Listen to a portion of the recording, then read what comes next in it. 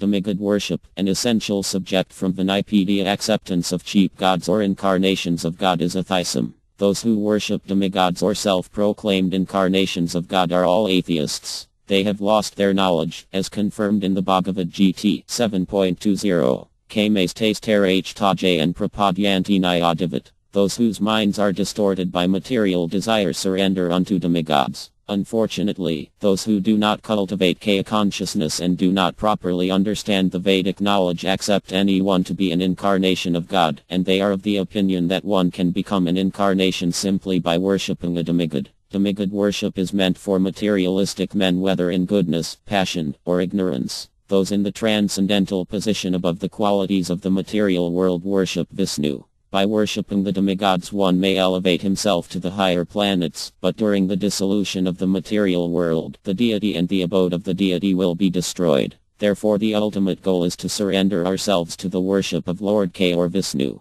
Srila Prabhupada's books, lectures, conversations and letters offer a comprehensive presentation of this essential subject as seen in the Vaniquotes demigod worship category. An introduction from his books is given below in the following 10 quotes. Quotes from Srila Prabhupada's books A pure devotee must not cherish any desire other than to serve Ka. He should not offer worship to the demigods or to mundane personalities. He should not cultivate artificial knowledge, which is devoid of Kaya consciousness, and he should not engage himself in anything other than Kaya conscious activities. One must engage all one's purified senses in the service of the Lord. This is the favorable execution of Kaya conscious activities. Kaitanya Karatam Ta, Madhya LL 19.168 The Lord sits on the lotus heart of the devotee in the eternal form the pure devotee desires, and thus the Lord does not part from the devotee, as confirmed in the previous verse. The Lord, however, does not disclose himself to a casual or unauthentic worshipper to be exploited.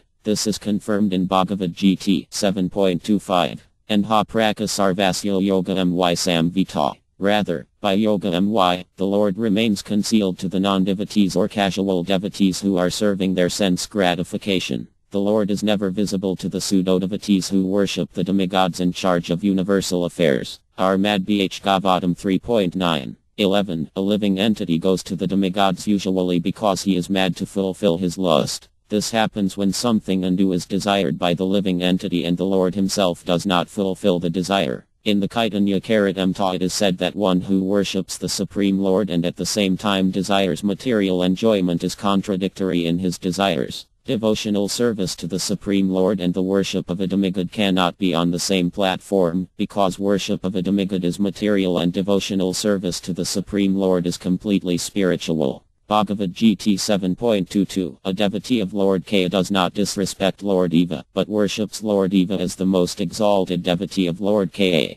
Consequently whenever a devotee worships Lord Eva, he prays to Lord Eva to achieve the favor of Ka, and he does not request material profit. In Bhagavad GT 7.20, it is said that generally people worship demigods for some material profit. Kames taste h tajan. Driven by material lust, they worship demigods, but a devotee never does so, for he is never driven by material lust. That is the difference between a devotee's respect for Lord Eva and an asura's respect for him. Armad Bh Gavatam 4.24 30. Men of small intelligence worship the demigods, and their fruits are limited and temporary. Even if by fruit of activity or worship of the demigods one is elevated to the higher planetary systems for sense enjoyment, his situation is condemned in Bhagavad Gita as antavat, perishable. The happiness one enjoys in this way is like the pleasure of embracing a young woman in a dream. For some time it may be pleasing, but actually the basic principle is false. The mental concoctions of happiness and distress in this material world are compared to dreams because of their falseness. Armad Bh Gavatam 7.2. 48. Foolish MYVDS say that worshipping demigods is as good as worshipping the Supreme Personality of Godhead, but that is not a fact. This philosophy misleads people to atheism. One who has no idea what God actually is thinks that any form he imagines or any rascal he accepts can be God. This acceptance of cheap gods or incarnations of God is actually atheism. It is to be concluded, therefore, that those who worship demigods or self-proclaimed incarnations of God are all atheists. Kaitanya Karatam Ta, DLL 10.11 To accept more material enjoyment means to bind oneself more and more to the miseries of material existence. more wealth, more women and false aristocracy are some of the demands of the materially disposed man because he has no information of the benefit derived from VU worship.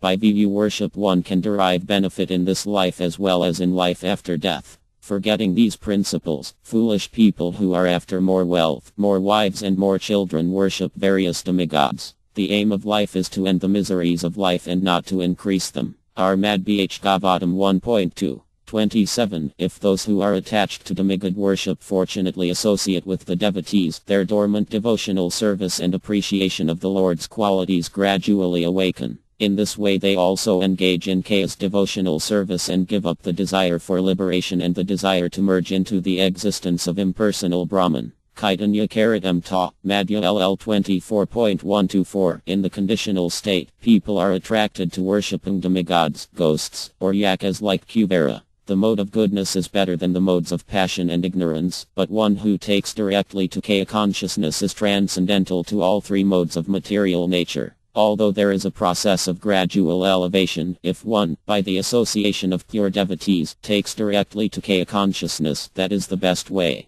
Bhagavad GT 17.28 It is easy to get material opulence by worshipping the demigods, but the result is sometimes disastrous. As such, the benedictions derived from demigods are appreciated only by the less intelligent class of men. Persons who derive benedictions from the demigods gradually become puffed up with material opulence and neglectful of their benefactors. K. Book, Chapter 88.